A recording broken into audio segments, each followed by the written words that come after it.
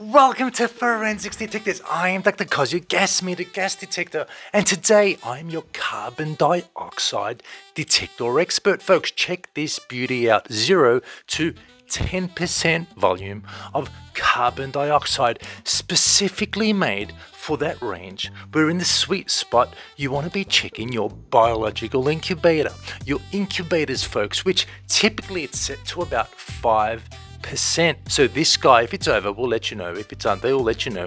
And you could make the corrective adjustments for your specific incubator application, folks, okay? And it's also perfect for other research and development situations or industrial situations, folks, okay? So the way it works, it's a diffusive type of gas detector. This is sensor, the NDIR sensor is right at the front there and it detects the CO2 molecules using infrared absorption technology and it will detect the instantaneous gas concentration at the front of the sensor head just right there. And it gives you the concentration again 0 to 10% volume with 0.01% resolution. Very good resolution, folks. So you could fine tune your incubator, your process. Okay, folks, that's why we designed this special range. Hard to find on the market. Only us, only we have it. 0 to 10%. Okay, now look, what does it come with, Dr. Koz? What does it come with? Okay, you purchase it, it comes to you in a nice strong box. In the box, you will find your charging USB charger. Okay, you will charge it, one charge, 72 hours, not a problem. It comes with an easy to read color manual and we have its calibration certificate calibrated to NIST carbon dioxide sources very accurate. And you have our engineer technician has signed it on the date and everything else that comes with it. Very very important. So you know where it came from folks. So you have confidence in its accuracy. Very important.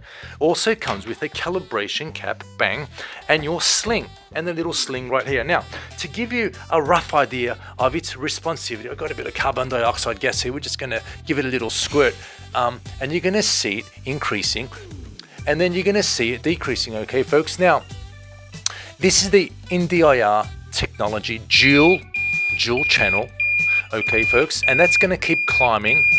And it is the sensor cell okay folks? Now what happens is the gas molecules enter the cavity the sensor cavity. It takes some time. And it also takes some time for the gas molecules to flush out okay folks? So that's the way it goes. That's the way we detect the CO2 infrared absorption methodology. And this is it. Now, what else is there, folks? Look, 30 day money back guarantee from Forensics Detectors. We are here in the USA. Any problems, give us a ring a ring.